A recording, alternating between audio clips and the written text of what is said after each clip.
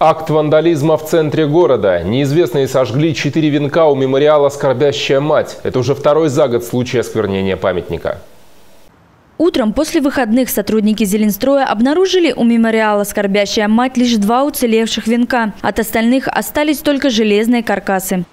Рабочие, которые э, убирают нашу центральную часть города, улицу Ленина, позвонили утром и сообщили о том, что в очередной раз произошла вот такая нехорошая ситуация. Подожгли опять венки на нашем памятнике. Надеемся, что правоохранительные органы помогут нам найти этих вандалов, которые сквернили памятник скорбящей матери. И наше пожелание, если можно, поставить здесь камеры видеонаблюдения.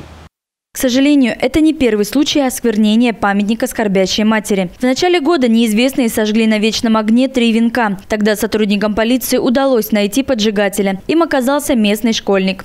Мое мнение на этот счет отрицательное, потому что такого быть не должно, э, тем более в такое тяжелое время для нашей страны. Мы собственным примером должны показывать своим детям, как нужно вести себя по отношению к людям, по отношению к культуре, к нашим, к памяти стариков, к нашей памяти, к общей. А иначе это сегодня горит памятник, завтра будем на этом памятнике гореть мы. Об отношении к воинской славе предков говорят и рисунки на дорожных плитах и подпорных стенах. Мария Кретова, Сергей Иваниченко, Денис Остапенко, Девятый канал.